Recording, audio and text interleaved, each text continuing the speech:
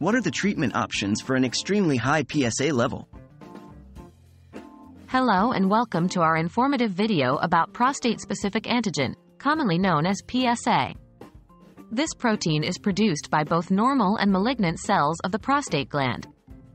In today's discussion, we'll focus on the treatment options for extremely high PSA levels, which may be a cause for concern.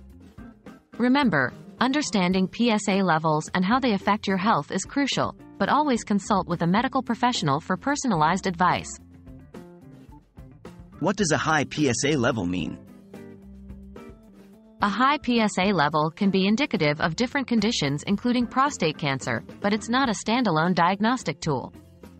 A high PSA level might also point to benign prostatic hyperplasia, BPH, prostatitis, or even be a result of recent procedures or activities that stimulate the prostate. It's important to note that high PSA levels don't immediately mean you have prostate cancer.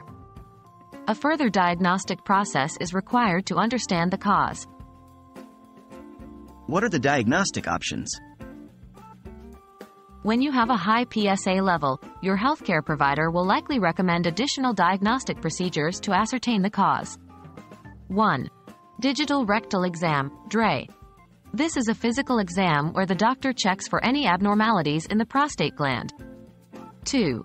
Prostate biopsy. A sample of prostate tissue is taken and examined under a microscope to look for cancerous cells. 3. Imaging tests.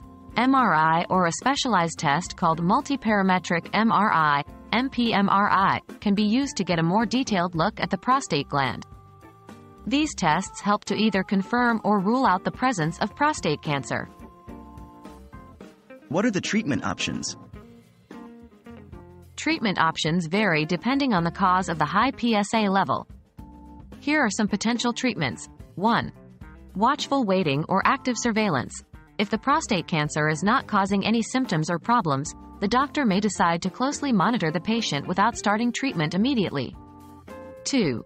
Radiation therapy. This uses high-energy rays or particles to kill cancer cells. 3. Prostate surgery.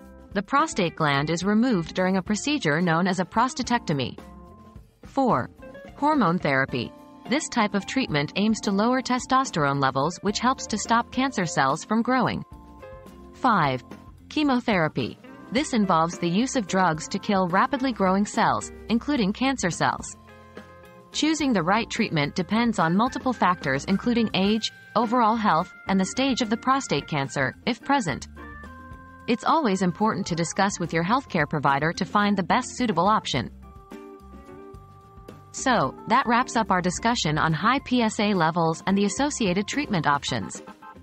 Remember, a high PSA level is a signal that something may be amiss, but it doesn't automatically mean you have cancer.